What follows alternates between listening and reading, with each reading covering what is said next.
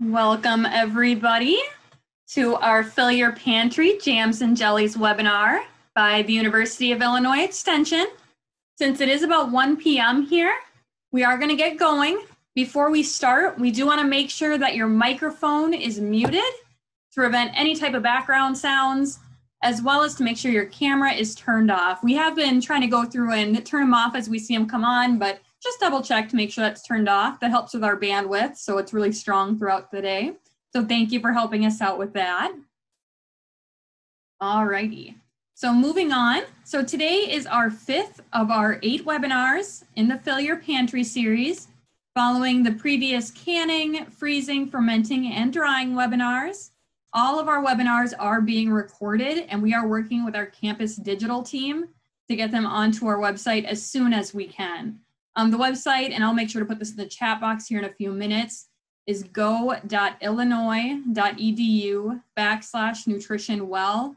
And like I said, once I hand over the presentation, I'll make sure to put that into the chat box, that link, as well as um, I'll mention it at the end as well. Um, speaking of the chat box, please feel free to use it today to ask any questions. That's specifically what we want to be using that chat box for is for those questions. We will do our best to address as many questions as we can as we go today. Um, your presenter will be answering questions at the end of the presentation, but please keep in mind that she may be addressing them as we go. So I know the last couple slides she goes through are a lot of our frequently asked questions regarding jams and jellies. And again, that's typically near the end of her, end of her presentation. Um, since we are limited to an hour, if we do not address every single question that you put into the chat box, we are gonna be sending you every single one of those questions and answers that are coming into that chat box, as well as recipes and other helpful jams and jellies handouts for today. Alrighty, so moving on here, let me introduce myself. Um, my name is Lisa Peterson, and I'm gonna be your moderator today. I am a nutrition and wellness educator with University of Illinois Extension. I work in Christian, Jersey, Macoupin, and Montgomery counties in West Central Illinois. Um, another person who's on this call with us who I don't have a picture of, but that is the University of Illinois nutrition and wellness educator, Susan Glassman. You may see her pop up in our chat box. She's gonna help address questions as we go through today, as well as some of the technical side of our webinar. So moving right in, our presenter today is Mary Liz Wright. She is another nutrition and wellness educator, and she serves Clark, Crawford, and Edgar counties on the east side of the state. Um, Mary Liz has over 20 years of experience in extension. And from there, I'm going to pass that ladle on over to Mary Liz. Thank you, Lisa. Yes, I'm happy to be here today. And um, we are here coming to you as part of the University of Illinois Extension. And Extension is the flagship outreach effort of the University of Illinois. Uh, we offer research-based educational programs to residents of Illinois in all 102 counties and far beyond. And you'll notice that when you registered, we ask that you give us your zip code. And we just find it interesting how far out we're reaching and and into uh, what particular counties in Illinois and then uh, other states as well. So as Lisa said, we are absolutely thrilled that you have joined us today. We're going to be talking about jams and jellies. Also, as she said, this is fifth in a series of eight, and uh, many of uh, the questions that you might have will be addressed as we go through the program. So, so sit back. Don't feel like you have to take notes of everything I say. We're going to be sending you some fairly comprehensive handouts, and uh, feel free to type those questions in the chat box. So what are we going to be talking about today? Well, the different types of sweet spreads. It's not all jams and jellies, but we are going to concentrate on them specifically when we're talking about the step-by-step -step process. And as always in all of our presentations, we are going to talk quite a bit about food safety because our goal is to make a good product that people can enjoy and uh, enjoy it safely. We'll also be answering those common questions. And we chose jam and jelly as, as one of our topics because really jams and jellies are a wonderful first food preservation project. Fairly simple, fairly straightforward, and let's go through the process. So the first thing we want to address is food spoilage. Um, isn't that an attractive bunch of grapes there? So in the world of nature, it is nature's way to begin the enzymatic process or the decay process or deterioration, whatever you want to call it, upon harvest. So as soon as you harvest that fruit or vegetable, nature is sending those enzymes to that, that uh, fruit or, or vegetable to begin decay. And the reason it does that and it has those chemical changes is because the whole purpose of the fruit or vegetable is to provide food for the seed that will sprout and grow into the next generation. So in uh, the food preservation project, we're going to be talking about enzymes, chemical changes, but also microorganisms. And you see some mold growing on those grapes, and that's a microorganism that that we address in the in the jams and jelly specifically, uh, because those are things that can invade and uh, cause spoilage to our our end product or even to the the product um, prior to. So one uh, thing that we want to pay attention to is when we are preserving food be it jam and jelly or, or another type of, of preservation, you want to choose the fruit or vegetable at its peak of ripeness and also its best quality. There are, there are some folks who say, you know, I wait and I use all the damaged tomatoes, for example, uh, to can. And that might sound like you're being very frugal, but in reality, that can cause problems in the end. So only use uh, fruit as near perfect as you can get it, and also begin that preservation process as soon as possible. Don't let things sit around before you turn them into jam or jelly or salsa or what have you. So how do we preserve food? We can do that by three different ways. And again, we're wanting to slow down or stop the enzymatic, the ripening, the degradation process that is natural to that fruit or vegetable. And how do we do that? Well, in canning, we do it with temperature and then also pressure. So the temperature can inactivate the enzymes and kill the microorganisms that can eventually cause foodborne illness. Freezing and drying both uh, don't kill or inactivate enzymes, but they do slow down the activity. Freezing and drying also prevent microorganisms from growing by reducing temperature and or removing moisture. And so when we're thinking about food preservation, what I always like to share with people is that, um, you know, food preservation sounds scary to some folks, and everyone has that story about great Aunt Mildred whose pressure canner blew up in the kitchen and she had peaches all over her ceiling. But actually, it's not that scary. Food preservation is science, but it's not rocket science. And we will tell you several times throughout this presentation to follow directions exactly. And by doing so, you will end up with a safe and delicious product. Methods of canning, since we're going to be talking about jams and jellies today, and they are a canned product, there are uh, two different kinds of canning processes. Now, the one we're going to be talking about today is the water bath canning. And what that does is it uses boiling water to raise the temperature and kill most of the microorganisms, um, reducing the microorganisms to a safe level inside that jar of acid food. So foods that begin um, with a, an acid um, in, composition like fruits, jams, jellies. We also can use the boiling water bath method for things we have acidified by adding an acid. So like our tomato products or, or pickles, which we'll discuss next week. But anyway, jams and jellies, boiling water bath canning. Pressure canning is reserved for low acid foods meats, vegetables, or those combination of foods, soups, that sort of thing.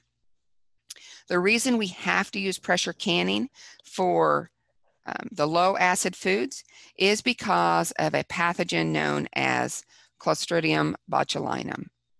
Well, now this is a, a foodborne bacteria. It's it's all around us in the world, and it really doesn't pose a, a risk to us until we put it in an environment without oxygen, which is the interior of a canned food. And so, uh, under those conditions, this bacteria can produce a toxin that is deadly and can cause some permanent damage um, to your nervous system. So it is something that we pay very close attention to. And in our processing of foods, that's another reason we want to adhere to directions exactly. At some point, if this were an in person um, workshop, one of you might pose the question, but uh, we don't hear about botulism anymore. We thought that was an old fashioned thing. And uh, that's incorrect because we have botulism cases nearly every year throughout the world. For example, from 1999 to 2008, there were 116 botulism outbreaks in the United States. So we definitely need to pay attention when we're processing those low acid foods and make sure that if you're using a pressure canner that has a dial gauge, you would want to get that tested every year to make sure it is accurate. And you can call your local extension office to find out how you can get that done. So I said we were going to be talking about food safety, kitchen safety. Everything we do, we want to make sure we're observing the proper hygiene practices. So, of course, we're going to wash our hands. Something that people often uh, find surprising is that in addition to washing the hands before we begin uh, the canning process in our kitchen, we also recommend washing your hands before you go to the garden. So think for a minute. If there are any germs on your hands and you go to the garden and you pick that produce, you have transferred the germs on your hands onto the produce. So we would like to eliminate that risk by washing our hands before we go to the garden and then again when we come into the kitchen. Always avoid handling food if you don't feel well. And if you have long hair, pull your hair back, wear a hat, wear a hairnet. Uh, we also want to make sure all the surfaces in our kitchen are clean, as well as all of our utensils. Just making sure everything is cleaned with hot soapy water is good enough. You might want to take a, another step and sanitize, and you can do that by making a bleach water solution. It's just um, a teaspoon of bleach per quart of water. Spray it on and let it dry. Oh, excuse me. So what type of sweet spreads are we going to be talking about today? Uh, we're going to concentrate, as I said, on jams and jellies, but there are other types of sweet spreads. And just to give you a quick definition, preserves, similar to jams, but in preserves, the um, fruit is left whole. So in jams, everything is chopped up and then put into a sugar syrup solution and processed. Jellies, we're only dealing with the juice. Preserves is the whole fruit in a slightly gelled syrup. Conserves are a mixture. So often they'll have nuts or coconut, and they have a similar uh, consistency to jam. So it's spreadable, doesn't flow too much when you when you um, pour it out. Marmalades, so uh, Paddington Bear's favorite substance, are, are made with uh, usually citrus, and uh, always part of the peel is included. And uh, they're beautiful in that um, you can see the bits of fruit floating around in kind of a clear gel. Uh, butters, uh, on the other hand, are the fruit pulp mixed with sugar and spice and cooked to a consistency uh, to where the um, fruit butter will mound up on the spoon. And not included on this list, but also something that I learned as a young bride, my uh, mother in law gave me a recipe for pear honey. And I thought, well, this is interesting. What do I do? Mix up pears and honey? Put it in a jar? No, the, the term honey is, is interchangeable with syrup. And uh, what it is, is the fruit juice or pulp cooked into a consistency that's not as thick as a fruit butter. It's actually quite delicious. And uh, later on, we're going to be talking about what happens if, we'll address some of our common questions. And one very common question is, what do I do if my if my jam doesn't sit?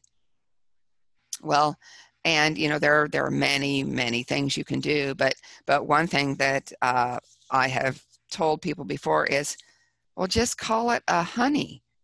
If your if your uh, strawberry jam doesn't set, oh, well, then you've made strawberry honey, and you can use it as uh, a topping for biscuits or, or ice cream. There's, you know, any number of things you can do. But anyway, what do we do first when we are wanting to make a jam or jelly? Well, we must find a tested recipe. And by that we mean that it needs to come from a reliable source. And that would be either the National Center for Home Food Preservation, the USDA Canning Guide, any source from an extension from any state, uh, so a cooperative extension in any state in the United States. And you can also use the, the commercial canning company uh, recipes. Not that we're um, address, endorsing anyone, but Ball or Kerr or Mrs. Wages, all of those are fine. What we don't want you to do is use great grandma's recipe developed before 1985. And I'm sure that that recipe was absolutely delicious. However, the directions for processing will be different than the ones that we will be using today. So go ahead and make grandma's strawberry rhubarb preserves or what have you, and then just keep it in the refrigerator and use it from there. Uh, there are other uh, things that we want to uh, pay attention to and avoid uh, from a food safety standpoint, and that is uh, the open kettle method. And by open kettle, what we mean is, and I can remember doing this as, as a young child, and we would have the hot uh, mixture, the hot fruit, sugar, syrup um, mixture, and we would put it in a hot jar, put a hot lid on it, and then quite often we would turn it upside down. And then when we would turn it right side up, it would seal. And we thought we were good to go. Science has shown us in the last several years that it is best to process everything in a boiling water bath. And so we no longer endorse the open kettle method. So Next thing after finding a good recipe is we want to gather our ingredients. And so juice if we're going to be making jelly or fruit for jam. As I said, uh, jam or jelly are our, our, great first step in the food preservation uh, learning curve because you only have three ingredients. And if you're not using commercial pectin, you'll only have two ingredients. It doesn't really get much easier than that. And when we're gathering our fruit, and you can see by this picture that a few of those berries are a little underripe. And that's good because those berries will have more natural pectin. And uh, we, we would want to do that um, to make sure that our end product is uh, of a sufficient gel. Now, the other end of that is we don't want to have too many green or underripe fruits in our mixture um, because that can add too much starch to the mix and we can end up with a, a cloudy product. So, so just about one fourth to one third slightly underripe. The next thing we want to do is gather our equipment. And, you know, when you begin to can, it is somewhat of, of an investment. You do need to buy those those commercial canning jars. Please don't use old jelly jars pickle jars olive jars. Uh, you know we we did years and years ago in the old mayonnaise jars uh, for example. And what we have learned and and what uh, just keep in mind you're going to a lot of trouble and and some expense to do this if you use a jar that is not a commercial grade canning jar, you run the risk of that jar exploding in your canner. So not only is that a danger, uh, you could cut yourself on the shards of glass, but also you've just wasted a whole a whole jar or two of product after you've gone to all that work. So buy the commercial canning jars. They last forever as long as there's no nicks or cracks in them and, and check it out on that rim and make sure there's no nicks. Uh, you can buy them at garage sales really cheaply. Uh, get the jars, lids, rings. We uh, recommend you use a, a national brand uh, for this as well. You want high quality lids and rings. We're only going to use those lids one time. You can reuse the rings, but the lids can only be used one time jar lifter is really uh, a convenience and also a safety factor. And so you um, need that to be able to pull those jars out of the very hot water. And a funnel allows you to fill the jars uh, much more accurately and uh, evenly. A long handled spoon and then a pot or pan to both oh, yeah. boil the jam or jelly in, and then also a larger stew pot to uh, use as your water bath canner. So as far as size of jars, use what the recipe suggests. if you use a different size of jar, well, the processing time is going to be off, and then you will very likely end up with a product that is not of the same consistency as the others. So it'll either be too stiff or, or too loose. All right, so we mentioned a little bit about these unsafe methods. We see these occasionally. Um, I've even read newspaper articles. Uh, unfortunately, there's, an, there's a lot of information on the internet that is not accurate. You cannot process canned goods in your dishwasher or your microwave oven or your oven. Uh, the other thing is we don't use one piece lids. There are some modern one piece lids on the market right now, and uh, we don't recommend those either. Uh, paraffin wax. Grandma used to seal that jam and jelly with paraffin wax, and I know that you can remember as well as I do popping that off and chewing it like it was gum, and it had a, a hint of flavor of the jam or jelly. And we don't recommend that uh, any longer because there could be a hairline crack around the edge of that wax and molds or, or yeast could get in there and uh, you would it would result in spoiling the food. So, so again, you've gone to all this trouble and all this time. So make sure you're using the proper equipment and methods. Okay, now we need to set up our equipment. Fill your canner, and this is a boiling water bath canner. You can buy one that is that says boiling water bath canner. You can also use a, a large soup pot you just need to have something to use as a rack in the bottom so that those jars are not touching the bottom of the pan directly. Uh, we don't want them rocking back and forth in the boiling water. So if it has a rack, that's great. So you're going to fill it up uh, halfway with water, heat, heat it to simmer, uh, you know, not boiling, but simmer. Add the jars to the warm water and sterilize if needed. Now we're going to uh, cover that here in just a little bit. So we don't always sterilize jars, uh, only under certain circumstances. So many of us have flat top stoves. Can we process, can we can on a flat top stove? And uh, the question is, it all depends. Depends on the, uh, the manufacturer of the stove and their recommendations. But what we do want you to be aware of is that flat top stoves don't give us a continuous same level of heat. And you'll notice if you look at that stove top, the burner will be cherry red and then it will fade, and then cherry red and then it will fade. And if you cannot maintain that vigorous boil for the amount of time designated in the processing time in the recipe, then you might not be satisfied with the product and it could render it unsafe. The same is true for portable burners. Uh, you, you could run out of gas, you could, you know, any number of things could happen with a portable burner. The other thing to consider with a flat top stove is a canner full of water and filled jars is very, very heavy. You run the risk of cracking the top or scratching it or, or otherwise damaging it.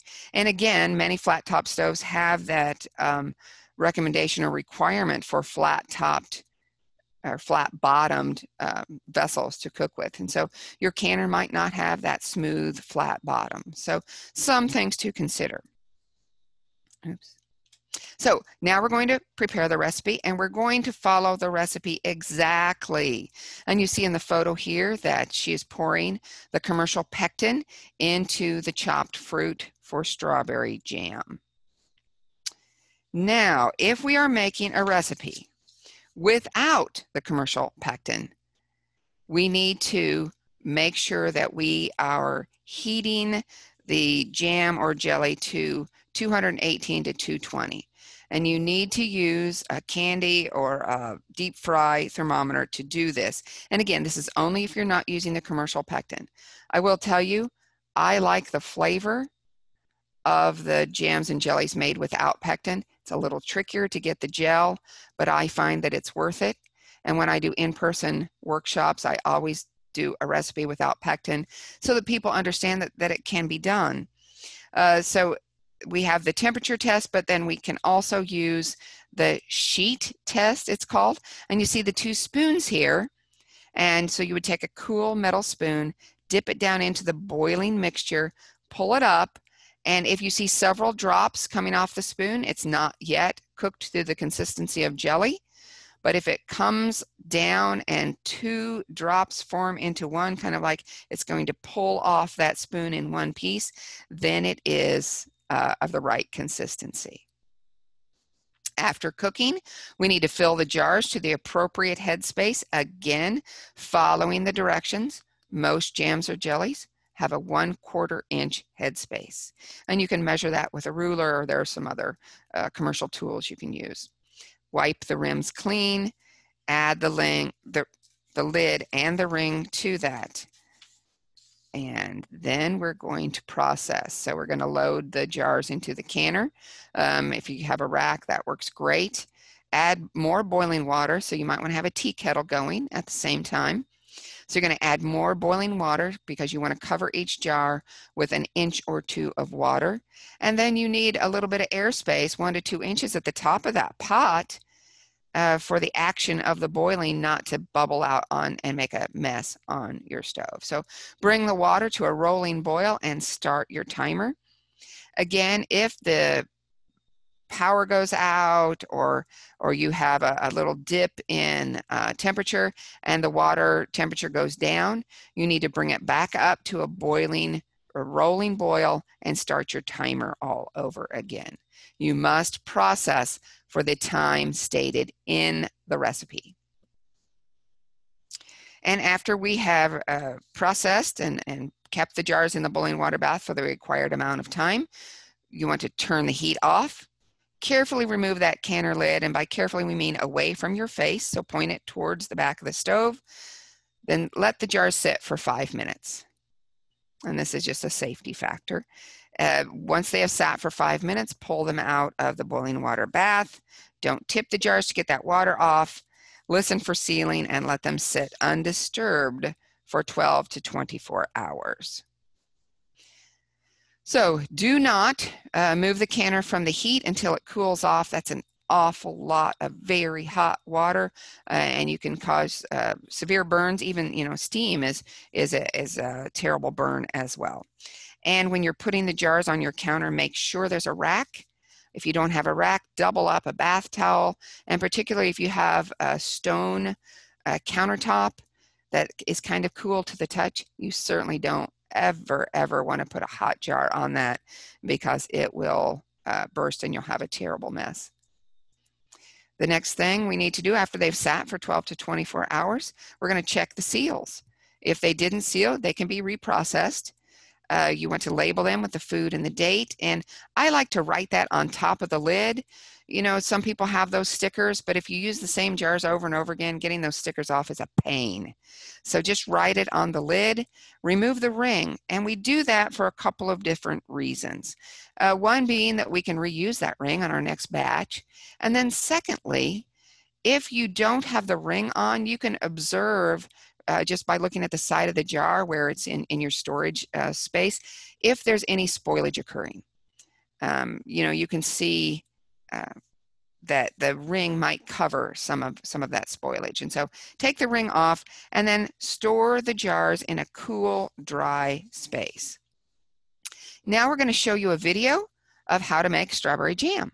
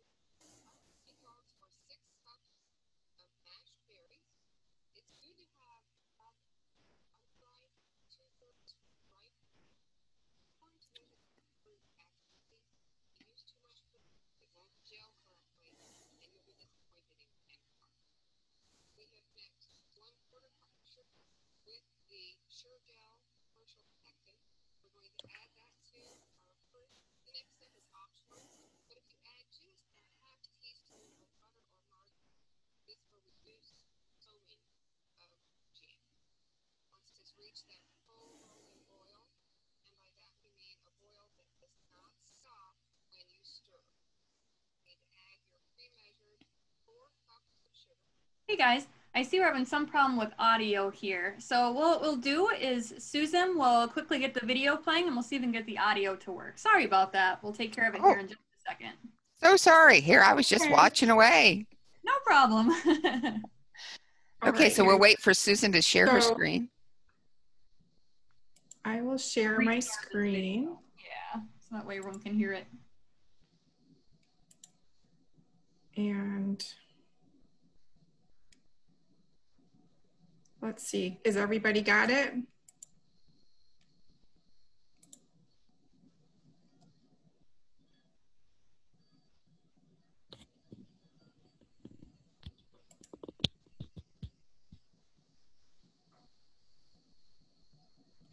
Yeah, I can hear it, or I can see it, we just can't hear it. Yeah, I Oh, don't. boy. I don't hear it. Okay, Should I mute myself? You think? hang on, Yeah, there's I'm a gonna setting. click- hold Of on. mashed. I'm gonna start again because I'm gonna see if this helps better with the sound. Okay, here we go. Okay, great.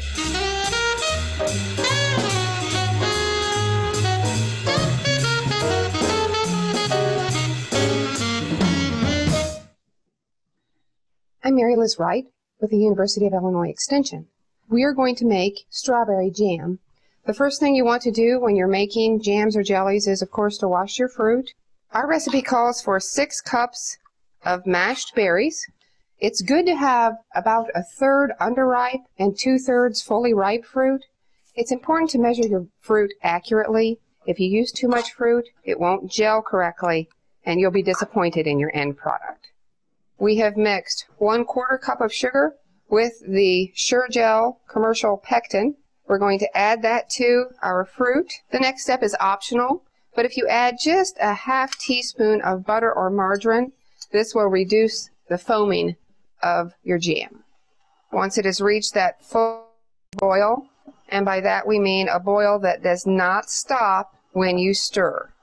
You need to add your pre-measured four cups of sugar.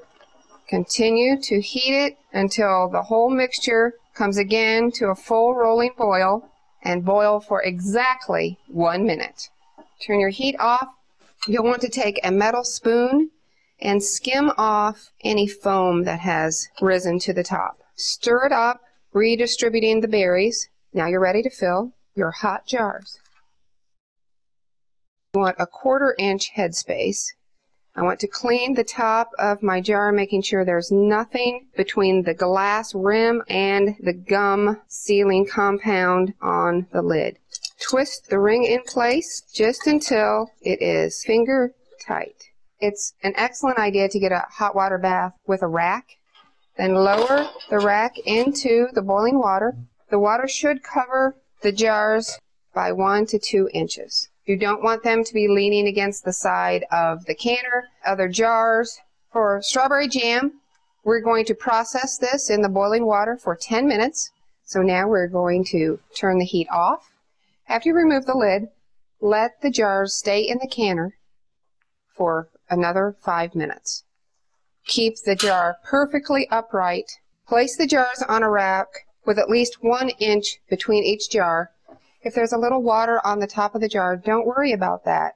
If you tilt that jar to remove the water, it could hamper the sealing process with the lid. So don't worry about the water, it's going to evaporate.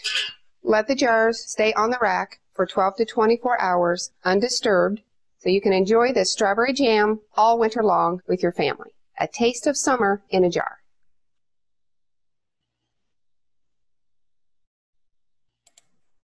Okay, back, back to you, Mary Liz. All right. Well, thank you so much, Susan. You saved the day. You're welcome. So, so that was a, a video we made uh, actually several years ago, and um, I enjoyed making that video. I enjoy making jams. So I hope that illustrated a, a few uh, things for you and maybe answered some of your questions.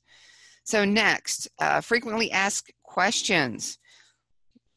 When do I need to sterilize my jars? Well, and the answer to that is you need to sterilize your jars when the processing time in your recipe is less than 10 minutes. We really only consider this when making some jams and jellies.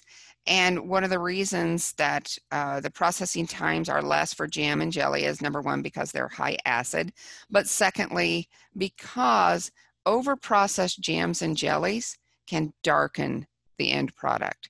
And we all like that, that brilliant, sparkly, bright jam or jelly. And uh, if we process it too long, it has a tendency to be dark. And so how do I sterilize my jars if that processing time is less than 10 minutes? Well, I can tell you how not to sterilize your jars, and that is by using the sanitizing uh, setting on your dishwasher. There is a difference between sanitizing and sterilizing. Sanitizing is getting something really, really clean, and sterilizing is killing all present pathogens or bacteria. We sterilize things before we get ready for surgery. We sanitize things when we want them to be super clean. And I hope that answers that question. So another question that we often get is what is pectin? Uh, you know, we can buy the, the commercial pectins. It comes as a powder and it comes as a liquid. And by the way, those two are not interchangeable. Again, and I know you're tired of hearing me say this, but follow the recipe exactly. If it calls for liquid pectin, get liquid pectin. So anyway, where does pectin come from? Well, it comes actually from, from the fruits that we would uh, also use to make our jams and jellies. It is higher and naturally occurring in some types of fruits, and, and those are listed there on the slide, apples, gooseberries, plums, grapes, and then lower in, in others as we mentioned both in the video and then when uh, we were talking about the fruit selection, the less ripe fruit has more natural pectin in it. And so then that's why we often say if you're making a recipe without the use of commercial pectin, you would want to make sure that one quarter to even up as much as one third of your fruit to be under ripe. And it's the pectin combined with the acid in, in the fruit and temperature that causes the gelling process to occur. So it's really important in the whole process and we want to make sure we're using the right kind and the right amount. Another very, very common question is, how can I reduce the sugar in my sweet spreads? There's a lot of sugar in jams and jellies and conserves and, and all of the, the spreads that we talked about. And, and we use sugar for a couple of different, different reasons. One is that it makes it taste good. But secondly, sugar binds with the water in the fruit and actually aids in the preservation process. If you do want to use less sugar, then we recommend you buy the commercial pectin that is made for a low sugar spread. And so uh, quite often they're a different color, they'll have a different label on them. It'll be very clear to you that this is specifically for a low sugar recipe. Uh, there are no substitutions, uh, but you can find some recipes, both on USDA and the National Center for Home Food Preservation, that have been designed to use less sugar or, or to use an alternative sweetener. Um, you must follow, again, those recipes exactly. Don't take a regular recipe and swap out uh, an artificial sweetener for it. Uh, one, you won't be satisfied with the consistency of the product. And again, when I said that sugar binds with water and uh, has something to do with um, spoilage, we do find that the reduced sugar products tend to spoil a little more quickly and you'll want to pay particular attention to them. But it can be done. You just need to follow the, the recipe exactly. Again, oh no, what happened? My spread was too stiff. It has sugar crystals. Oh, and it molded. So, so although making jam and jelly is a relatively easy process, there are things that can go wrong. So if it's too stiff, maybe you overcooked it. Uh, your temperature was too high. Uh, sugar crystals, maybe you did not uh, stir the, the sides of the pan, and so some sugar was allowed to crystallize on the edge of the pan. Uh, sometimes people go ahead and, and let that happen, and then before they put the product in jars, they'll take a, a wet paper towel very carefully because it's hot and wipe those sugar crystals out. You might also see some naturally occurring tartrate uh, crystals if you're uh, using grape, and that's just a naturally occurring um, product of, of the grape itself. And there are some things you can do to avoid that. And again, uh, if, it, if it molded or, or has a fermenty smell or, or otherwise seems off, well, you know, something happened maybe in the processing. Um, uh, you know, any number of things could happen. But what we don't want you to do is just to simply scrape that mold off and go ahead and use it. If mold is present, please throw it out. Now, how do I reduce soft jelly? And like I said earlier, uh, you might want to wait before you take this next step. Sometimes jam or jelly can take up to two weeks to really uh, set. And so let those jars sit undisturbed. If you do need to move them to a cabinet, that's fine, but don't be jostling them around too much wait a couple of weeks if it's still soft well then you can you can reprocess redo it and we have the instructions uh, in one of our handouts to do that and uh, it, it can be done and also um, you know if, if you don't want to go to that trouble and as i said earlier you can call it then this is a oh, oh i made um, a, a honey i made a fruit honey or uh, you made strawberry topping or um, something similar for ice cream. Don't be too hard on yourself. It's still going to be delicious. The resources that we recommend are the National Center for Home Food Preservation, as well as our own Illinois Extension Food Preservation site. There are wonderful uh, directions on both of these sites and you should be able to follow step by step. The Illinois one has several other videos. We shared with you the strawberry jam uh, video uh, this afternoon, but there are other videos on there as well. So questions. Lisa, what can I, how can I help? I see we have 99 yes. messages. yes, thank you all for, thank you all for hanging in there. Thank you all for typing in the chat box. So what do we need to talk about now? Okay, the first thing I do want to get into before I start handing you a few questions here is we did get quite a few questions about the handouts. So okay. yes, we are going to be sending out the handouts. Um, they are going to be coming within the next week or so. Um, we are working right now. I know there was questions about our previous webinars and our handouts, and we're talking about moving them potentially to our website, and we will make sure to let people know when they are put on there as well, because they want handouts, and we just haven't we haven't been able to upload everything just yet. Okay. okay. Okay, so the first thing I want for Mary Liz, I've got a good question for you that I know we get asked a lot with extension. So, can you use a steam canning setting on an instant pot or is that considered unsafe even though it's marketed to be able to do so? Excellent question. I am so glad this question was asked because although the manufacturer uh, indicates that it is a, a safe process, the um, Center for Home Food Preservation has not yet determined that to be a safe way to preserve food. So, so short answer, no uh, it's best to just go with the old fashioned method. There are some commercial electric countertop canners mm-hmm. that are different from your uh, electric pressure cooker. So, made specifically for canning, uh, they will process, I don't know, I think like three or four small half pints or pints at a time. And those are okay to use. But the other, the, the those multifunction uh, appliances, no all righty, so that's one of them. Um, another one that this is a great question that comes in a lot is I just purchased a new pressure canner. Do I need to have the gauge tested if it has never been used? If it's never been used, it was calibrated in the factory. Now, if you've had it setting in oh i don't know your unheated garage or or a very damp basement or or you know some somewhere like that you might want to run in and, and have it tested but but those are calibrated at the factory and should be good to go All right. This is, we have plenty of time here. Here's another good question is why remove the foam? In your video, you showed you Hmm. removed. What Right, do with that right. and that's just for aesthetic reasons you know in my house i don't remove the foam because my children like the foam uh, so it, it has nothing to do it, it, it tastes good uh, nothing to do with food safety it's just uh, it makes a prettier jar if you remove it good question All righty. Okay. So this one's more of a situational question. So I put Okay. several jars in the fridge once cooled to try to help them set more quickly.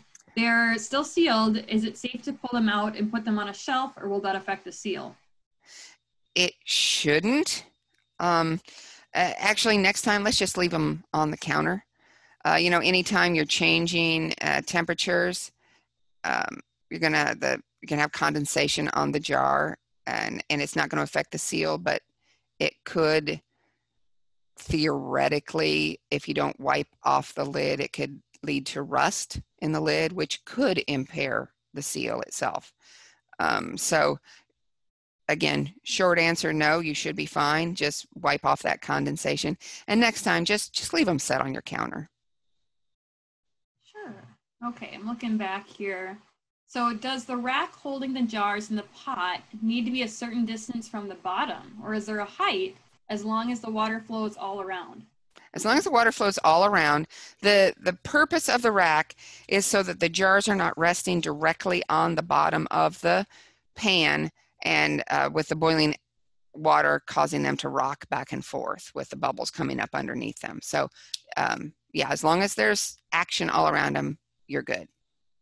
All right. Do you have a suggestion as a reasonable alternative if you have a smooth top electric stove?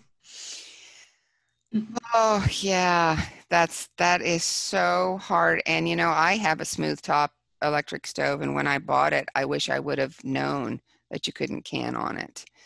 Um, Yeah, suggestion I is to I have it too, Mary Liz. I have Yeah. a ceramic. They Yeah. do sell some canners that are specifically for the flat top stove, but I've been really hesitant to use it. yeah, Um, And I- so yeah. I did find, I'll just add in real Uh-huh. quick. Uh-huh. Balls sells an electric um, water bath canner, which I love, and it plugs in and it's got a spigot, so you can put it right by your sink and fill it. And then when you're done um, processing and the water has cooled, you can just open up that spigot and the water goes right into the sink. So oh, wow, I'll just yeah. mention that I love that. Yes, I think I have seen those, and that is a good idea. Um, I I have done water bath canning on my smooth top stove. I will not use my pressure canner on it though, um, particularly because of the weight. Uh, But you can. Um, yeah, I also have an old electric stove in my basement that has the coils that I that I use on occasion. Or you can, if I think they have like some commercial.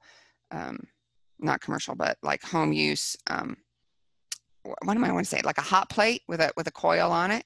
Um, that you can use that as long as it's going to get hot enough. I'm just not real familiar with that.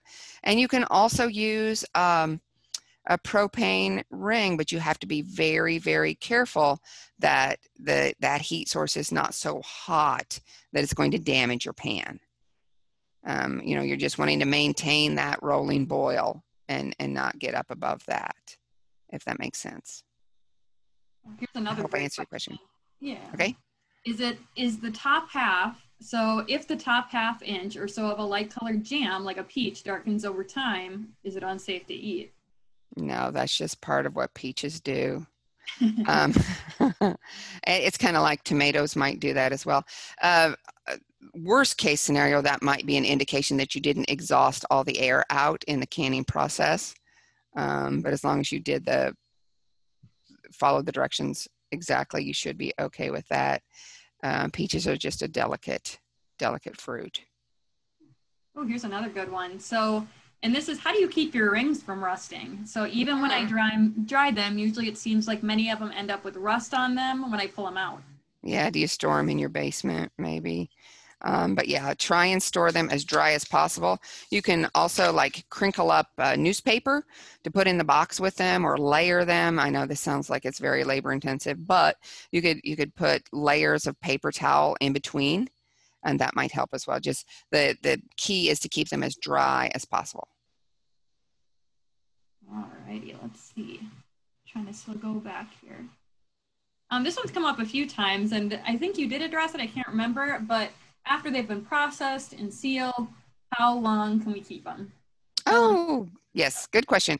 Um, they're best used within a year. Theoretically, a sealed uh, jar of food will last several years, but again, you've gone to all the trouble and expense to make this wonderful product. Let's eat it within a year when it is at its best quality. Okay, let's see. So I'm going back here. I want to make sure I'm addressing as many as I can. Like mm-hmm. I said, all of these questions as we're going in, we are going to copy them all and give you a nice handout with all the answers as well. So if we've missed them or if I haven't personally sent you a private message with an answer, we are going to answer them as well. Um, let's see. Oh, this is a great one. Somebody said they use silicone mitts to hold the jars when they're filling them. So oh, that that's a good idea because they are very hot. Good yep. idea. Let's see. So with a master partner, um, we talked about an alternative. Let's see, is there any other questions once the jars are cooled? Just double checking my list. Mm-hmm. Okay, here's one. Okay, we also have people using propane staves, that's camping stove, to do boiling water bath outside their home. That seems unsafe to me. So any suggestions on camping propane stoves for canning outside? Right. I'm, I'm not familiar with camping propane stoves. I know they people use them when they camp and and I would say if you you know are, are an experienced camper or an experienced user of that, um, you you could use it. I, I do know uh, I used to work with with someone who used something similar to that with the little canisters of propane when she did food demos and she got along just fine with that. But again, it's that constant source of heat you don't want to run out of, of gas or propane midstream. So, so you just want to make sure you have all those um, factors covered before you attempt anything like that. And again, uh, depending on fumes and that sort of thing, I know the the uh, apparatus that my colleague used um, didn't need to be vented, um, and so that that might be slightly different. But but um, all those safety factors need to be taken into play. You know, if you've got open flame, um, the the gas, um, that byproduct, and that sort of thing. So you want to you want to do your homework there, um, and that's not something that I don't that I know very much about. Sure. Okay. Um, this one came up here asking about talking about water bath canning. Can I just use a large pot? yes, you can. Yeah. As long as you've got a rack on the bottom and one to two inches of water above the jar, and then an, an additional one to two inches for uh, the action of the boiling water. But yes, yes, you can. Yeah. All righty, let's see. Okay. This one, if you overfill your jar, is there an easy way to remove product or just a spoon? Just wondering because of sterilization. Mm-hmm. Just use a clean spoon. You're good. And then rewipe that top. But yeah yeah sometimes a funnel uh, you can you can overfill fairly easily you think oh just one more spoon and then oops you have too much yeah just just spoon it out and and put it back in your in your uh, pan okay so electric stoves tend to go on and off also do you not use that either when you can um that's interesting the the old fashioned electric coil stove should stay on yeah Okay, a lot of these that we've addressed. And we will, I know there's been a couple questions in here as well regarding our web, wanting to sign up for our other ones. And I'm so sorry you guys didn't hear about a lot of our previous webinars. I will put in the link here for registering for the other ones as well. And then the follow-up email with the handouts will also have a link for registering if you missed some of our other webinars and you'd still like to sign up. We're still happy to take more people in these classes. Oh, absolutely. And, and again, you know, uh, the ones that you missed, they're going to be posted so you can uh, watch them at your leisure. Here's some other good ones here. We got a couple more questions coming in. And we got mm-hmm. time. Can you use okay. banana or papayas to do jams? No. I like to do tropical fruit. That's what they said in there. Okay. Um, no, I, I don't believe so. And that's, that's an excellent question. And I would have to do some research on that. But off the top of my head, um, because those remind me of pumpkin, and there is no safe home processing for a, uh pumpkin butter, uh, for example. And uh, both banana and papaya make me think of that, and that's just my kind of um, experience talking. That's that's not sound answer, but what we can do is we can jot that down. Lisa, we've got that written down, and we can we can do a little research on that. Sure. And this is another one that we may have to do some research, but I'll see if you know it off the top of your head. Is our currants high in pectin? Is there a difference between a red and a black currant? Oh, I don't know. Oh, I don't know. Yeah. um, another question here is Is the set of jam affected by a low sugar recipe? I know me and you had talked about those diabetes friendly recipes. Right. It, it can be. I mean, you might not end up with a texture you're, that uh, you're familiar with, but uh, but again, if you follow the recipe exactly, you're you're going to have a a product that, um, although not identical to the full sugar, it, it will be acceptable. Okay, and I don't know if I addressed this one or not, but I see it's come up a couple times. Is the raspberry jam I opened kettle processed? It did not and did not hot water process. Um, it has sealed and it did seal well. Do I still water process? Yes. Yes. Oh, here's a good one to bring up. This is something that was just addressed not too long ago with extension. I heard elderberry jam and jellies. We need to now be careful because the pH of elderberries. Just seeing your thoughts on that.